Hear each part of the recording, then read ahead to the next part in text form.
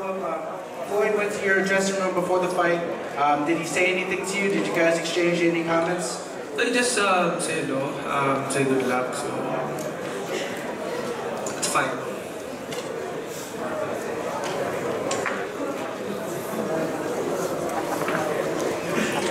Congratulations, Senator Manny Pacquiao. Uh, Rex Alba here, Spin.ph.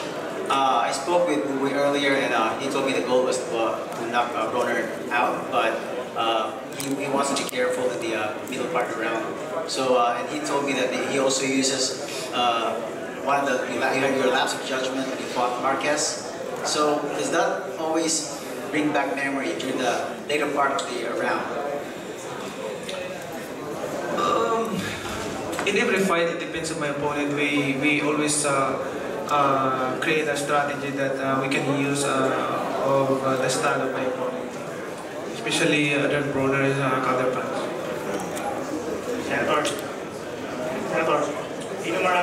Star. How would you describe Adrien Broner as an opponent? I mean, uh, like I said uh, over and over, uh, Adrien Broner is a good boxer. He's fast, he moves fast, he's a former champion. So he, he's kind of fighter that you cannot underestimate. Uh, you cannot take him lightly. I, I told you, um, he's giving me a hard time for this fight. So, um, respect of his uh, uh, style and team for being uh, giving for giving a, a good fight tonight.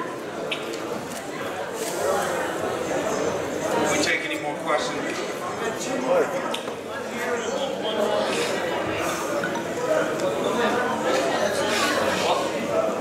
Monty Flores from Fight News Asia. Manny, since uh, Mayweather won't fight you, would you give, uh, would you fight Crawford or Danny Garcia? It's hard to say right now who's my opponent, but I will ask my promoter first who's uh, next. But uh, it depends. You know, we will announce that in, uh, in a proper time.